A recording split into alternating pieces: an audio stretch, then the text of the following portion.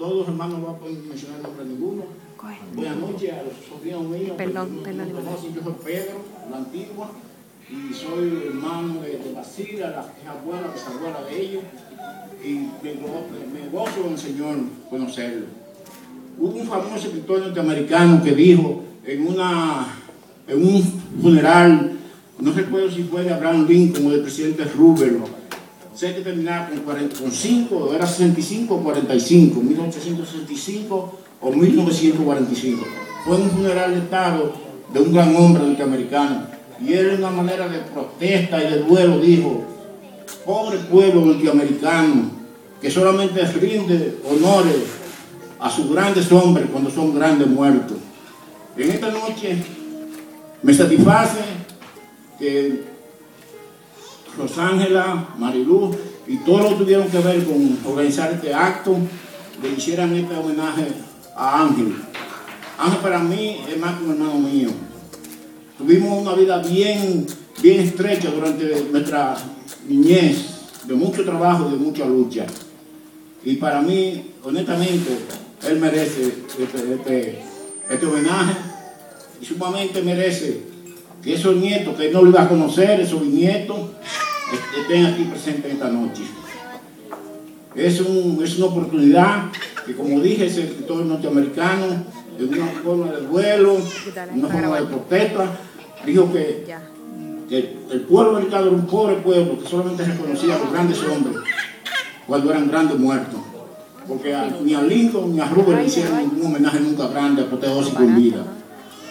Esta noche, mi, eh, Mari- eh, pidió que le, hiciera una semblanza a Ángel.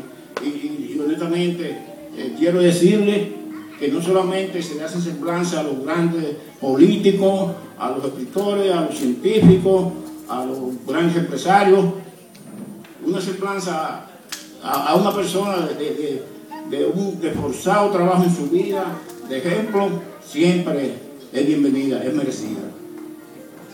No sé, no qui- quiero decirle a los nietos, hijos, nietos, tataranietos, bisnietos de mi padre y los amigos que están aquí.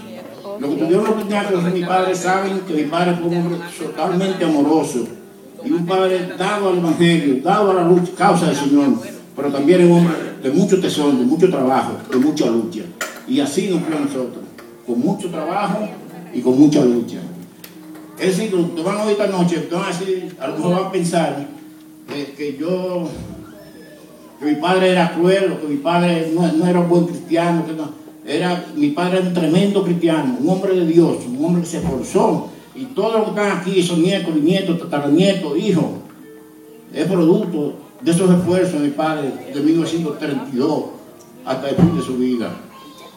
Así que, que, que me van a excusar porque una, un- una semblanza, una reseña, yo debo decir lo que es.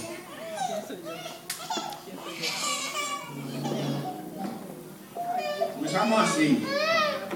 Señor, señores, familiares y amigos todos, es para mí de gran honor la distinción que me ha, me ha encomendado de hacer una pequeña semblanza sobre la vida de Ángel Mercedes. Felicito a Rosángela y a todos los familiares de esta, de esta iniciativa. A finales de 1942 se a Ángel Mercedes, Ángel a nuestra familia.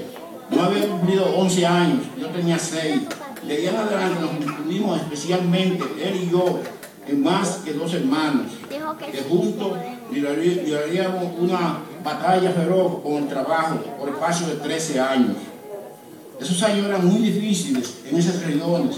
Había mucha pobreza. Desde 1939 se había desatado una terrible guerra mundial que costó casi 100 millones de vidas. Esa guerra trajo una hambruna mundial y en aquellas regiones había una escasez terrible de alimentos.